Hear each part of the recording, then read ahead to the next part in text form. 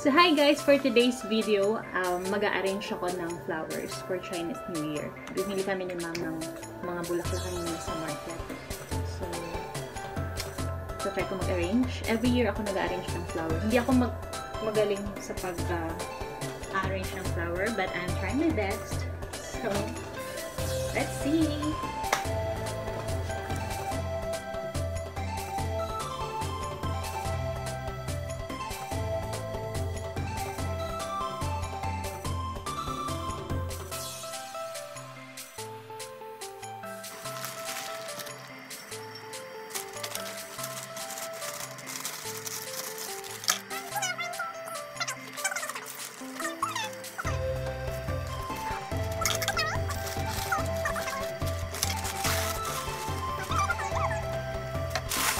Ha ha ha!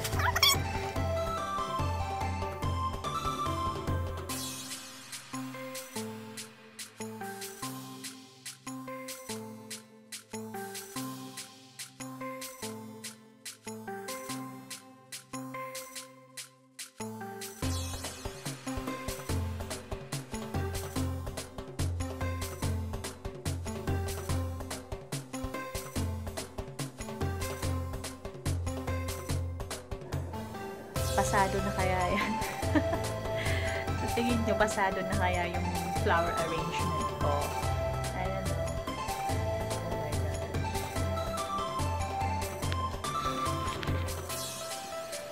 Tadaan!